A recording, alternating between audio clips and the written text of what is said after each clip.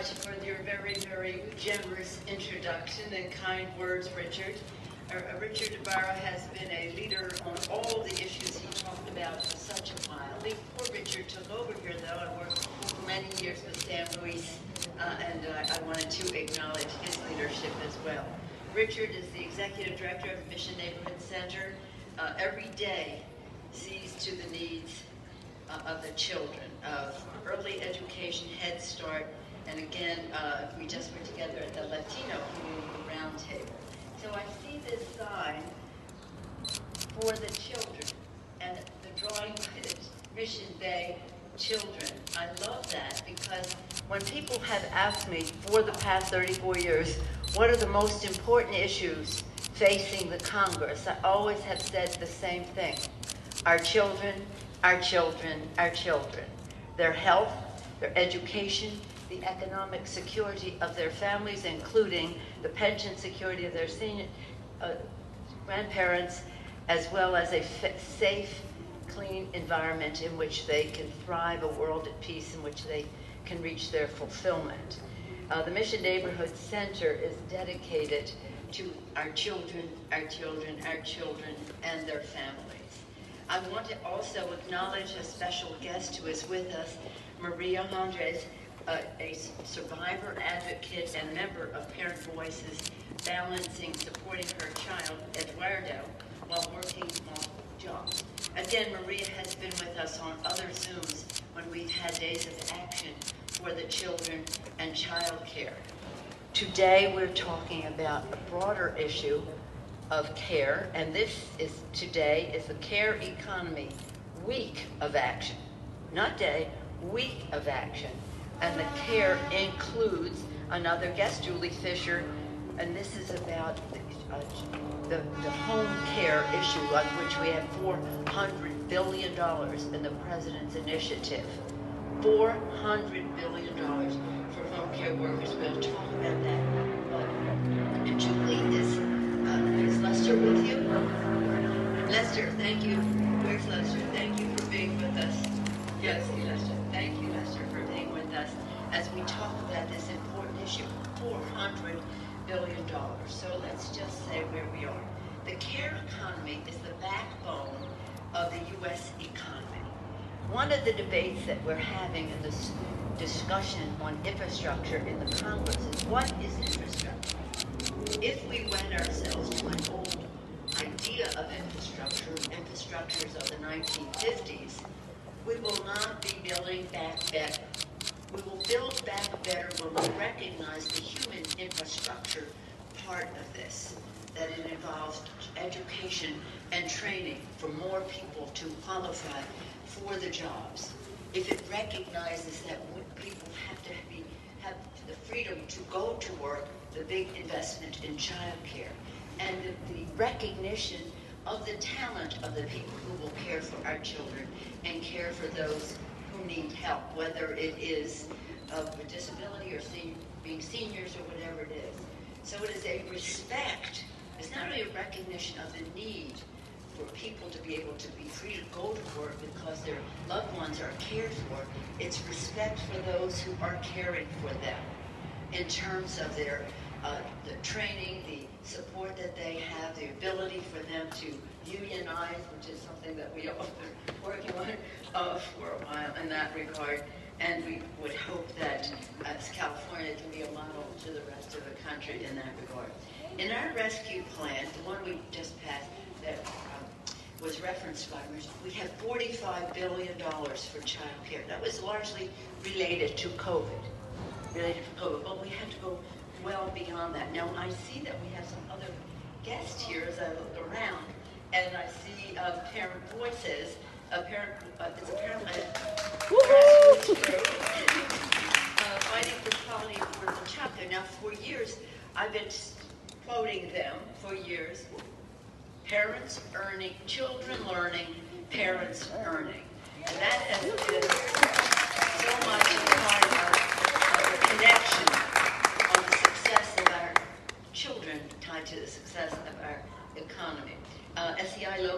15, representing California's long-term care workers, is here. Thank want everybody to be unionized across the country. And then um, Sasha Bittner. Oh, my darling Sasha. I love her so much. She, she's the chair of the Regional Advisory Committee of State Council for Developmental Disabilities and very much a teacher to the rest of us about how public policy affects the well-being of all of us. And of course, this home care, $400 billion is about seniors and people uh, with disabilities. And I see Linda Asato here, the Executive Director of California Child Resource and, and uh, Pearl Network, again, about child care research, education, and policy advocacy. This is about a new, a, a big day for us because we have a president whose budget is a statement of values of our country. That's what a federal budget is supposed to be, a statement of our country's values. And his budget is just that, the value that we place on family, the recognition uh, that the people who do the caring need the respect, the pay, the training, uh, and the opportunity to, uh, to bargain collectively uh, as we go along. And so we're going to hear from uh, some of our guests, but I just want to brag a little bit about the rescue plan. It also secured a billion dollars for Help Head Start, helping uh, Mission Neighborhood Center and other pillars of the community to um, have additional funding for the Head Start aspects of their program. Expanded Lifeline on the tax, child tax credit to provide $10 billion to provide access to home uh, and community-based services during the pandemic for seniors and people living uh, with disabilities. Now, again, much of that was rescue. When we go next to recovery and the job plan that is ahead, there'll be many, much more money because it will cover a longer period of time. Now we have a once-in-a-century opportunity to fundamentally fix our broken care system. It has lots of love, it has lots of goodwill. It doesn't have all the funding and the recognition that it needs, and it will because of the Democratic Congress, uh, Senate, and uh, well, we would hope that this would all be bipartisan. It is in the country. Across the country, people support this in high numbers. Democrats, Republicans, Independents, whatever. But in the, Senate, in the Congress, we didn't get one vote for the rescue plan that did so many of the things that we talking about. So again, I, I could go over the numbers again and again. Um, this is this is not a luxury we're talking about. This is a necessity. Pre-pandemic child care in California ranked among the least affordable in the nation, and now uh, rebuilding the cares, uh, now that's going to change. Some of what the governor is putting in the budget is money that comes uh, from all of this. So again, it goes on and on, lowers child care costs. When we talk about $200 billion, this is what it means to you. What it means to you is it ensures that no family pays more than 7% of income on child care. Invest in child care learning, work, uh, training the workers important. Expands access to, the Head Start places like Mission Neighborhood Center. And then this is another important part of it. Secures universal free preschool for three and four-year-olds. Now, San Francisco has been in the lead in the nation by having preschool for four years four, universal four years and above. This will enable them to come down to three-year-olds. Very, very important. And this is one of the things that we've been fighting for for so long. It has national paid family and medical leave with 12 weeks of leave. 12 weeks of leave. Now San Francisco, again, in the lead, has eight weeks of leave. This will enable it to go uh, to 12. Expands tax credits, including the child tax credit, very important that we've fought for, dependent care tax credits. And then again, I mentioned the $400 billion uh, to expand access to home and community-based services for seniors and people living with disabilities while strengthening the home care workforce. We always talk about this, about what they do, but, uh, but also, okay, so it will, um, South California has sort of taken the lead. We want the rest of the country to establish authorities where these workers can have uh, a, a place to make their case uh, for how we go forward. So in that event, um, the, uh, this jobs plan right now, see, it be- has two manifestations. One is the jobs plan, which will have $25 billion over and above the 50-some billion we already have put in related to COVID to get us through the next period until the next bill will have at least, I mean, the Women's Caucus in Congress would, wants to put like an infinite price tag on childcare because the, the needs are infinite, but nonetheless, a, a couple hundred uh, billion dollars. It will ensure families are not forced to choose between taking care of a loved one or providing for their family in a way that gives them confidence that they can be where they are, doing their work, knowing their children or their loved one is well cared for. So it's about family. Uh, there is a, a quote from Warren Buffett said, uh, I think is useful, the closer that America comes to fully employing the talents of all of its citizens, the greater its output will be. So you could make a pragmatic economic argument for all of this. We're speaking from a value standpoint of our responsibilities uh, to one another. And so we consider it, yes, it's important economically, but we consider it a health and moral imperative. So that's what you will see in the weeks ahead uh, as we go forward. And we're going to hear, again, this is all important in terms of policy, but what it means personally to people is what our purpose is. All of this is for the people, for the children. And with that, I, with great appreciation, Mission Nation Neighborhood Center for the beautiful respect you will pay to the people, the children and families who come here by having such a beautiful, special venue for them. So when they come here, they will feel the love, feel the respect, and thrive, uh, and, and thrive in that atmosphere. With that, an appreciation and respect for all that is happening here, I'm pleased to yield back to Richard Ibarra. Thank, you with great thanks.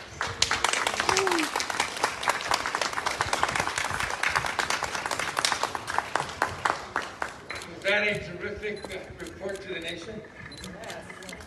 I didn't hear anything. Can we- can we Share a little bit about how we feel about the speaker today and every day of this week of action and the, and the ensuing year of recovery and action? Can we tell- We, we are part of that army that will follow this woman any place, anytime, day or night. Moving on here, 14 years ago, a lawyer from Nicaragua moved here to continue her education. This parent, single mother, who recently earned a paralegal certificate at City College of San Francisco, has lived here for the last six years, owns Antonieta Legal Services, serving people with translations, bankruptcy, immigration, and more. When the pandemic slowed her business, Maria took on two part-time jobs as an organizer for the Housing Rights Committee and as a promotora for Mission Economic Development Agency, providing informational campaigns to San Francisco's Latinx community on available resources. I would like to introduce parent, organizer, and promotora, and her son, Eduardo Antonio Corona, Maria Antonieta Andres. First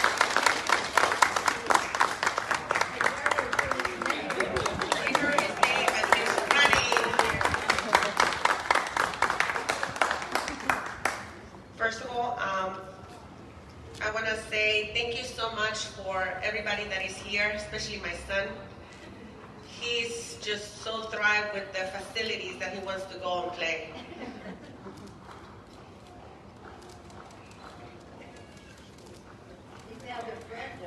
Yes, there's a friend over there. Good morning. My name is Maria Jandres. I am a single mother of a five-year-old Eduardo. An attorney qualified in Nicaragua, but unfortunately, due to licensing requirements, I am not able to practice law in the United States. To apply my legal training, I recently finished my paralegal certificate at San Francisco um, City College while starting my own business that I want to help my community with notaries, translations, bankruptcy, immigrations, paperwork. I also work two, part- two part-time roles, one as the Southeast organizer for the Housing Rights Committee, and another as the promotora for the Mission Economic Development Agency. We provide informational resources to the Latinx community on available, unavailable um, resources. I need to work all these hats in order for me to support my family financially. I am here to represent all the women, all the mothers, all the immigrants that have benefited from the pass of these bills. And thank you for the leadership of Ms. Pelosi. I have benefited myself. During the pandemic, my son and I were very impacted. My child childcare center closed. My business has been down, and my mental health was very compromised. I have a childcare subsidy, but still didn't have a place to put my son. So we needed to shelter in, at home for five months. Until I was able to find a place for him and I can go back to work. My son goes to a family center childcare provider for four days. But he cannot go for full five days. I don't have a space for him to go to that extra day. So he stays with me and he works with me. I also use the license exempt care, which is a friend when I have to work late or weekends. And I pay her out of pocket. The stimulus funds were a blessing. They helped me pay my electricity, cable, and phone bills. The 14,000 stimulus has helped us avoid further credit damage and credit card debt. The stimulus fund helped me catch up on finances to avoid financial ruin and more stress during these hard times. I am now very hopeful and excited for the child tax credit assistance because it will be ongoing support. It will remain, it will mean stability for my family and less worry for me to focus on different goals. I want to achieve for my future and my son as well. This fall, my son will be starting school, and I am so grateful that I will be getting this cash support with, for school supplies and other basic needs. So while in the past I was a victim of domestic violence, and I am a survivor now.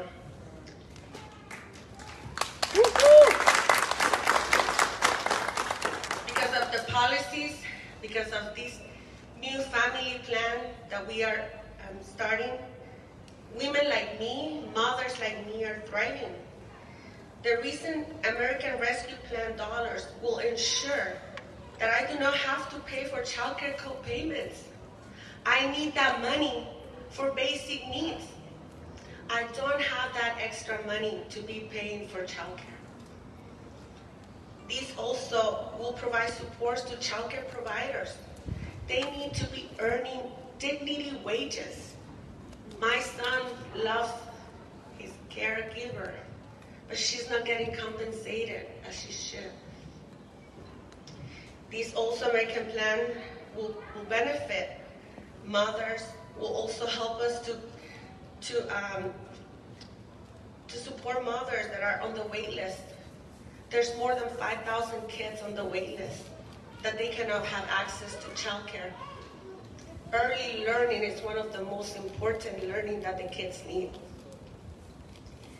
We also need to continue fight for policies that empower women to overcome the barriers that prevent us from achieving our goals. Dreams to make our families healthier and stronger. I know what it is to be on that wait list. I was on a wait on that wait list when I was on my second trimester pregnant. And for me, that is unacceptable. Mothers should not go through that. That was a very stressful situation. Childcare for me doesn't just mean a, a place for my son to go while I'm working.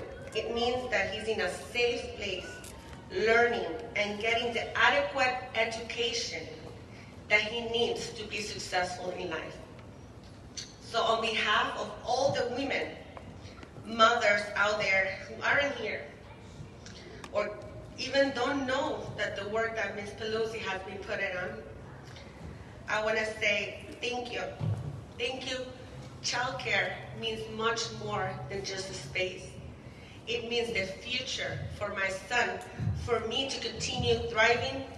Well, and let's all say, while children learning, parents are earning. Come on, everybody. While children learning, parents are earning. Children learning, parents earning. Thank you so much.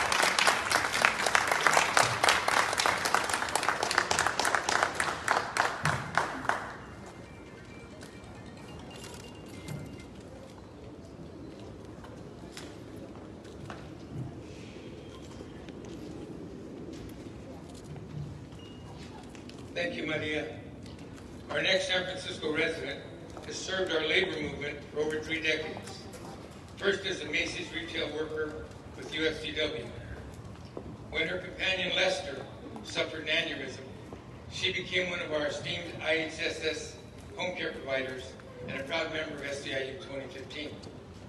She continues to fight for worker dignity, living wages, and union benefits. Is a grateful negotiator on behalf of fellow California caregivers and is excited to help ensure President Biden's jobs plan becomes reality, providing much needed reform in the care economy. I would like to introduce Julianne Julie Fisher, IHSS provider and SEIU 2015 member.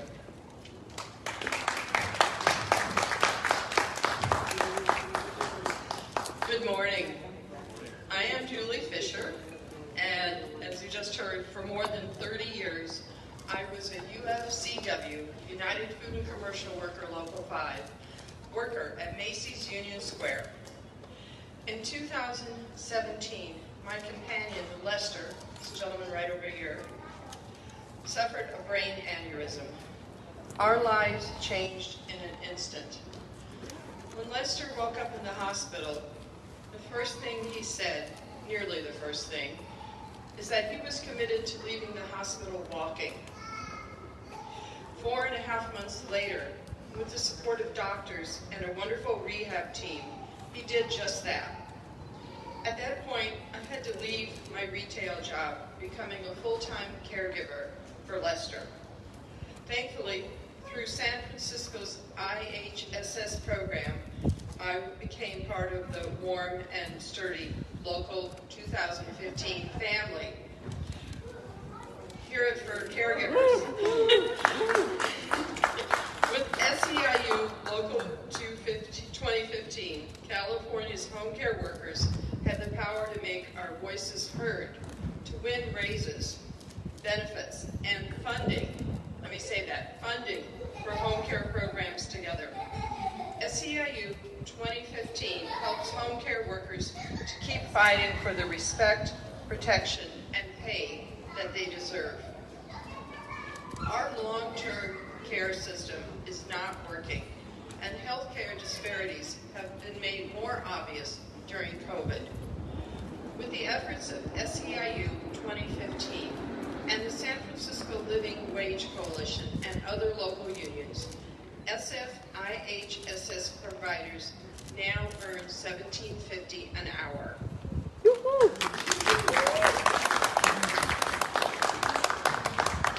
Many of my sisters and brothers across the country earn less than $10 an hour for exactly the same work. And they do not have benefits. They do not have paid sick leave, and many do not have the right to join a union. Home care workers are essential, skilled, and dedicated healthcare workers. Nearly 90% of home care workers are women. More than half are people of color. One third are immigrants. We've all seen that the racist and sexist narratives label our jobs as unskilled women's work. That is not right, and it cannot continue. Now, with the leadership and support of the Biden administration and lawmakers like Speaker Pelosi, home care workers and our clients are finally being seen and heard. A plan to make the long overdue investment in caregiving is absolutely essential to building back better and creating an economy that works for everyone. The numbers of those who need care keep growing. Our senior population and those living with disabilities like Lester deserve to live with dignity. Caregivers need to be respected, protected, and paid. It is time to put care first. Thank you.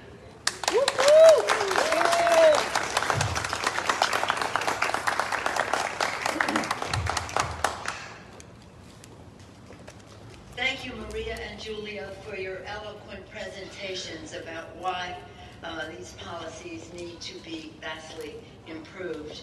From your personal experience, your suggestions, again, are a model to the nation. This is where our ideas spring from. It isn't a, this is what it should be coming from above. It's this is the experience that people are having. This is what we need to address. And just to, to speak to, we'll take a couple questions, but when Maria talked about not having a place, I just wanted, I, I looked at my cards because I didn't say this one thing before, uh, that there is $25 billion in the Biden plan for infrastructure because uh, facilities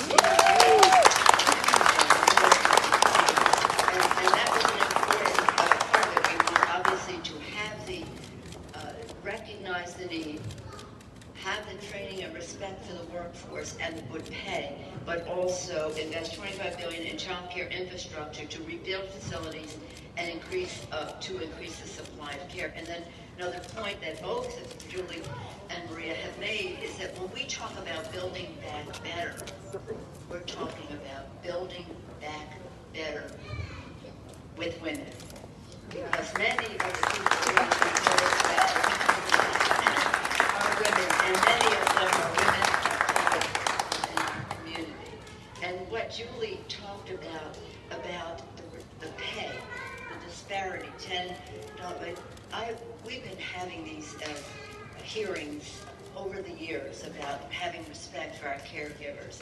And uh, one of our, uh, over and again, this one person would be a test, would testify with us, and her, her, her speech was this, I would say to the worker, to the, the employer, you don't think I'm worth this much money? Do you think your mother is? End of discussion. End of discussion.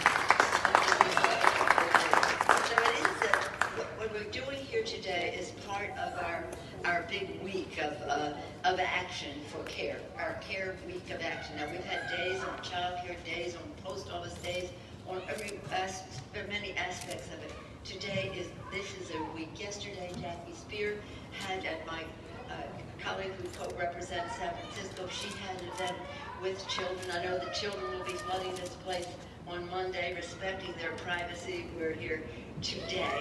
But I also want to say that across the country, there is a drumbeat for the care economy because members are having these kinds of events so that the public will be aware of what is in the bill. Not that we can just take credit for it. It- It's important for them to know where it all came from, but more important is that people will know what the opportunities are so they avail themselves of it, whether it's a child tax credit or anything else. If people don't know, they may not, again, benefit from it. So it's all about making it better uh, for everyone. We're very excited about. Really, the election of Joe Biden and Kamala Harris was something that was such a breakthrough for us to win the Senate so that we could, because we passed all these things last year, but now we can go bigger and get it signed by the President of the United States. Any questions on this subject? Let's hear it for the President of the United States. Questions on this subject? No? Okay. Any questions? questions? off topic. Uh, is, do you have any further? Should any further action be taken against Representative Omar for her comments? And No. Are, are you concerned No, about the divide it, it, No. it may cause?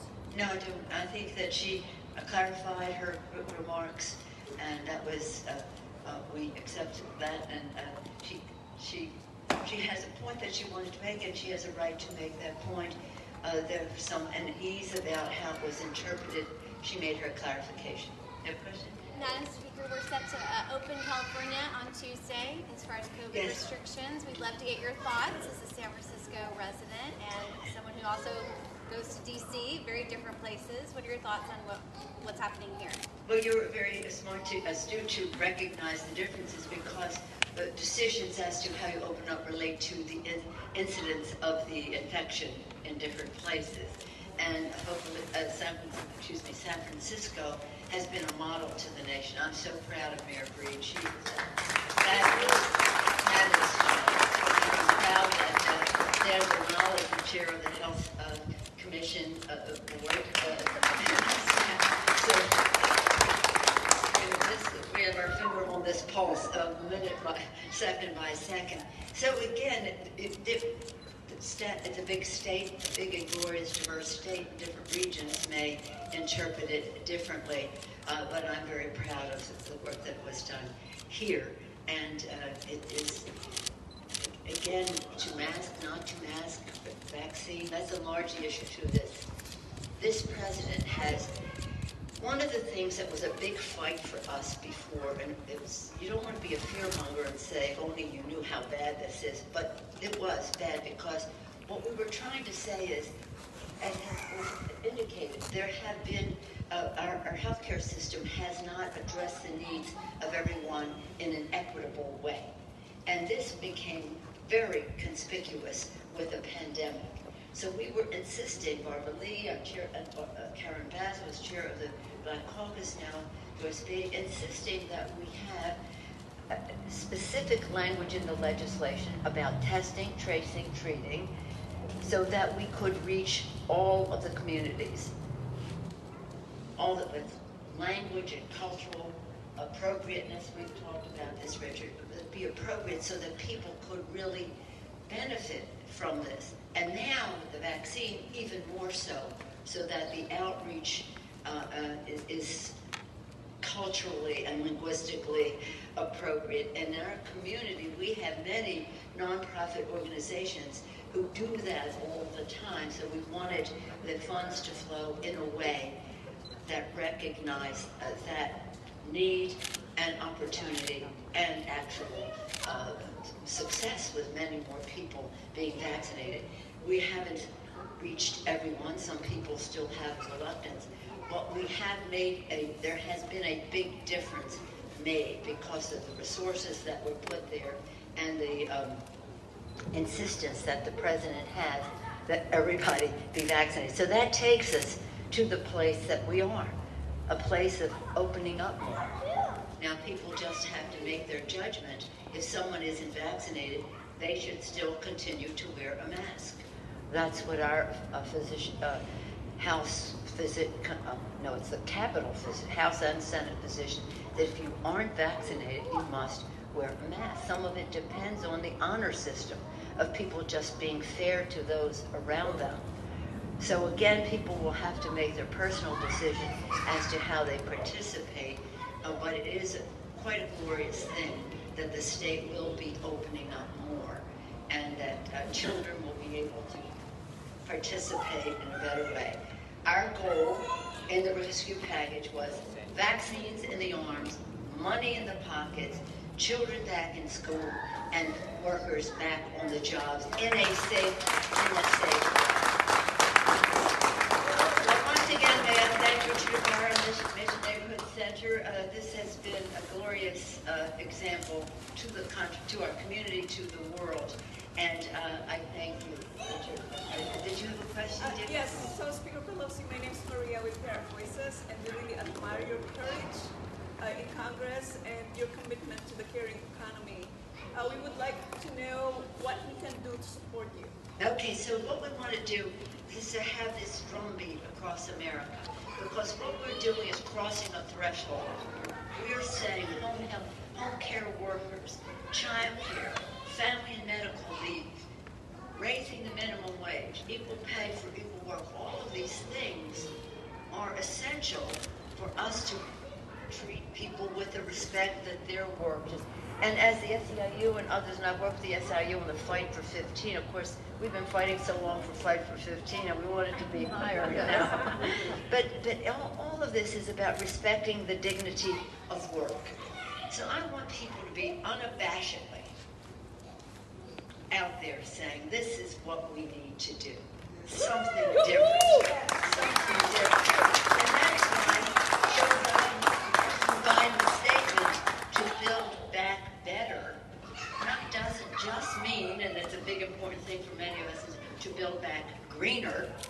That's better, to build back greener, but also to build back with many more people participating in that building back and the economic success and prosperity of our country.